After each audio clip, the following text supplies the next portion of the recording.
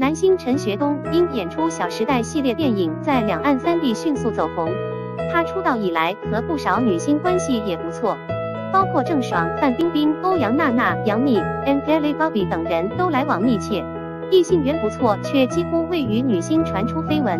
没想到四日被曝日前在上海与一名神秘女子约会，还疑似同居，引起网友热烈讨论。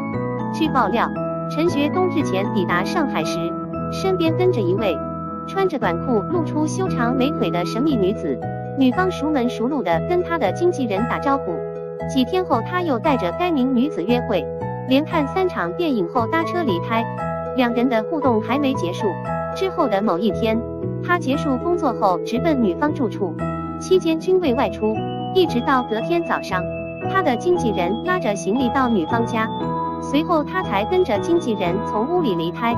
而此举被传疑似同居。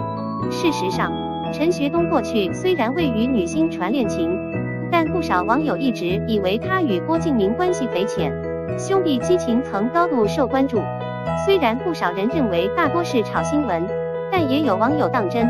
如今被拍到与神秘女子约会，疑似同居，粉丝大多表示男未婚女未嫁，正常交往表示祝福。